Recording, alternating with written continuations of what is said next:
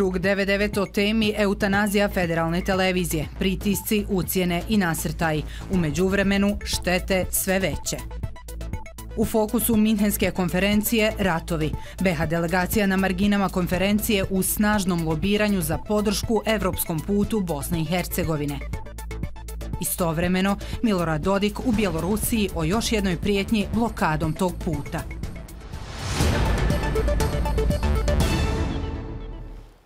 Pratite treći dnevnik federalne televizije. Država nije poslodavac, već obaveznik u stvaranju na zakonima zasnovanog ambijenta za uspješno i funkcionalno djelovanje javnog RTV servisa. Naplata RTV takse za javni servis nije indirektna državna sadaka, već obaveza javnosti da tim putem ostvari pravo na slobodnu riječ i pouzdanu informaciju. Ovo je poručeno sa redovne sesije Kruga 99 o temi eutanazija federalne televizije.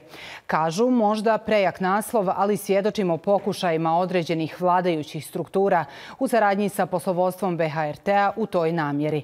Podsjećamo, 49. dan je kako se ne naplaćuje RTV taksa putem elektroprivrede Bosne i Hercegovine. Dnevni gubitak oba javna emitera iznosi 90.000 maraka. Radio-televizija Federacije, koja je potpisala aneks ugovora s elektroprivredom još prije tri mjeseca zbog bojkota menadžmenta BHRT-a uz podršku tamošnjeg upravnog odbora, ali i pojedinih vladajućih struktura, svaki dan gubi prihod u iznosu mjesečnog toplog obroka za sve uposlenike. Aktuelnom blokadom na zakonima zasnovanom sistemu naplate RTV takse cilj je urušavanje cjelokupnog sistema javnog RTV servisa Bosne i Hercegovine sa starim, prepoznatljivim namjerama stavljanja pod političku i finansijsku kontrolu SNSD-a i HDZ-a. Treba očito eutanizirati najprofesionalniju člancu, federalnu televiziju, kako bi se ojačale stare aveti etničke podjele zemlje i do kraja ostvario koncept etničkih servisa kao ključni poluga dalje destrukcije države i društva. Objektivno, to je put daljoj fašizaciji Bosne i Herco, bosansko-hercegovačkog društva i jačanje konfliktnih struktura moći na razaranje države.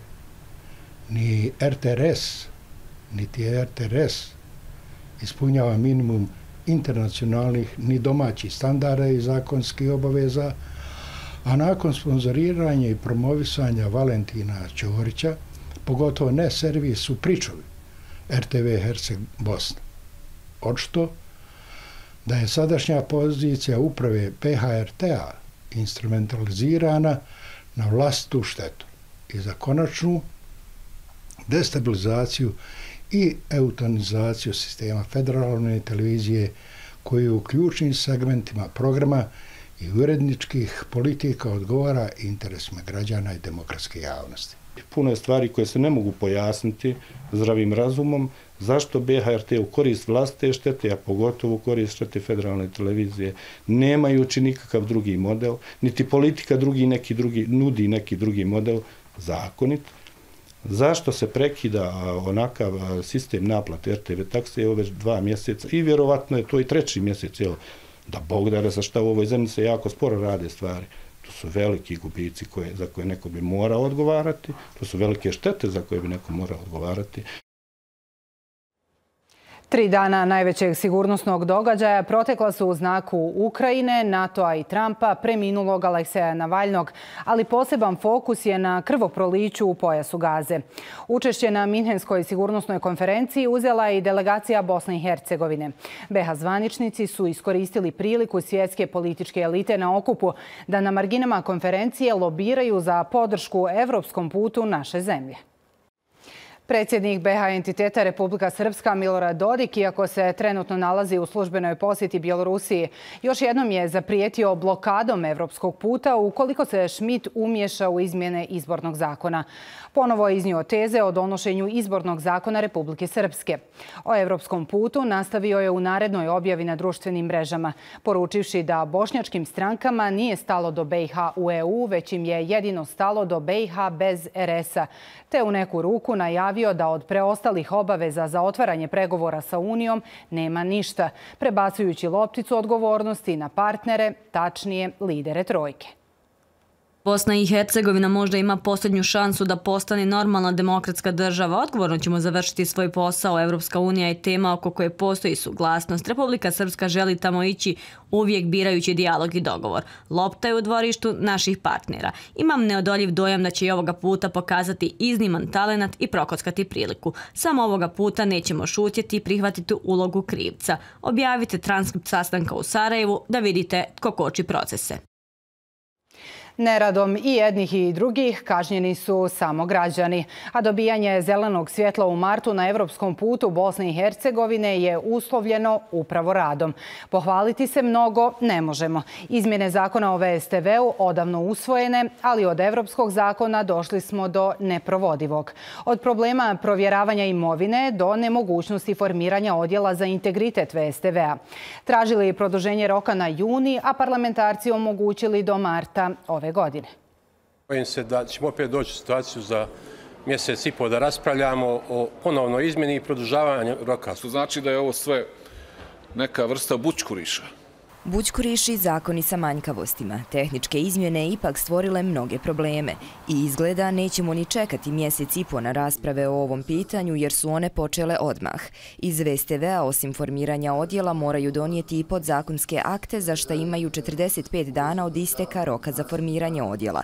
Stoga ministar pravde spreman na nova pomjeranja. Međutim, onda je pitanje zašto odmah nije ispunjen zahtjev VSTV-a o produženju roka do šestog mjeseca. Ja podržavam, ako želite još 90 dana, dakle 180 dana, ja podržavam da se tu u parlamentu, ako postoje volja da se riješi. U najgorem slučaju, ako ne bude ništa riješeno u 23. opet izmjene dopore da produžimo taj rok. Ipak iz ove krovne pravosudne institucije kažu da su odluku za popunjavanje radnih mjesta u odjelu za integritet proveli, međutim da im potrebna sredstva nisu odobrena te da su zbog toga onemogućeni za dalji rad. U više navrata vijeću ministara i resornim ministarstvima urgirali smo donošenje tražene odluke, imajući u vidu da bez uspostave odjela sudije i tužioci koji će u narednom periodu po raspisanim konkursnim procedurama biti imenovani za nosioce pravosudnih funkcija, kao i članovi VSTV-a, ne mogu preuzeti dužnost prije nego što prođu provjeru odjela za izveštavanje u dopisima i urgencijama ka izvršnoj i zakonodavnoj vlasti. Ukazali smo na realnu mogućnost da dođe do blokada u radu određenih pravosudnih institucija. Potpuno je nevjerovatna situacija da vi imate ovako otvoren, pa sad ne znam ni da li da kažem nemar ili obstrukciju uopšte primjene zakona, eh, novih odredbi zakona o VSTV-u, da se ne mogu u, u, u roku kojima su, koji su propisani zakoni, eh, koji su propisani zakonom uspostaviti i početi primjena zakona, a da eh, pa se on produžava, ali opet u nedovodnom roku od tri mjeseca, i na kraju činjenica da um, isti oni koji su zapravo usvajali, predlagali zakon, sada blokiraju finansiranje, odnosno izdvajanje sredstava za njegovu primjenu. Iz Ministarstva financija i Trezora BiH nismo dobili odgovor na upit kada će sredstva biti uplaćena. Dok ne budu, primjena izmjena neće biti moguća. Zbog toga iz VSTV-a traže hitni sastanak sa predstavnicima vlasti. Pritom ukazujemo da je VSTV u zakonu propisanim rokovima preduzeo i dovršio sve radnje iz svoje nadležnosti, da do probijanja rokova može doći zbog eksternih faktora koji su u potpunosti van nadležnosti VSTV-a. Konkursna procedura pred Agencijom za državnu službu BiH koja traje šest, a najmanje tri mjeseca i provjera izabranih kandidata u postupku OSE koja također traje nekoliko mjeseci. U cilju razrešenja ove situacije tražili smo hitne sastanke sa odgovornim u vijeću ministara i oba doma parlamentarne skupštine BiH i postoje naznake da bi sastanci mogli biti zakazani i održani u toku naredne sedmice. Deklarativna spremnost postoji i slušamo je konstantno, međutim, očigledno je da negdje koči. Bez finansiranja provjere imovinskih kartona nisu moguće, a još ne znamo ni kako će sve to funkcionisati. Tako ni izmjene još nisu zaživjele, a ponovo ćemo podsjetiti da je za napredak na putu ka EU potreban potpuno novi zakon o Visokom sudskom i tužilačkom vijeću i nezavisno pravosuđe, koje očigledno još u mnogome zavisi od politike. Za kraj informacija o vremenu. Sutra u Bosni i Hercegovini sunčanije prije podne. Od sredine dana postepeno na oblačenje sa zapada koje će u poslijepodnevnim i večernim satima u Bosni usloviti slabu kišu. Jutarnja temperatura od minus 2 do 7, a dnevna od 10 do 18 stepeni. Toliko od dežurne ekipe Federalne televizije. Želimo vam ugodnu noć.